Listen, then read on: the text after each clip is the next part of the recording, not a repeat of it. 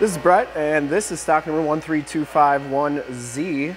I'm here at Summit Automotive and uh, just doing a quick walk around of this truck. You can see that the uh, body is exceptionally clean on this one. I didn't see any major dents or dings on there.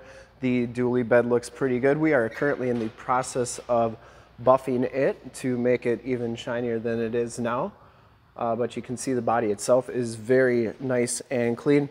Comes with Sumitomo Encounter tires, and these tires have a lot of tread left. I'd say probably 80, 90% of the tread left on those tires. Front fender's in great shape, and the hood is in excellent condition. Didn't see any dents or dings on there. As you can see, we're currently wet sanding this side of the vehicle. Um, so this will get all buffed out and look just like that, if not better. And uh, the rest we are wet sanding as well. Should be done in a couple days. The uh, tailgate does have a couple little dings and stuff, but nothing too bad. We're actually going to start it up right now.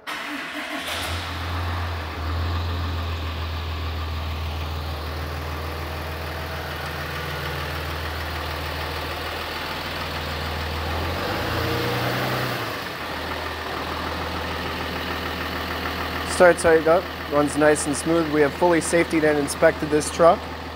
Has a fresh oil and filter change. All the fluids have been checked and topped off per the state of Wisconsin inspection process. And this truck is 100% ready to go once we get her all buffed up and cleaned up. And uh, thanks for checking out the video. Hope this helps.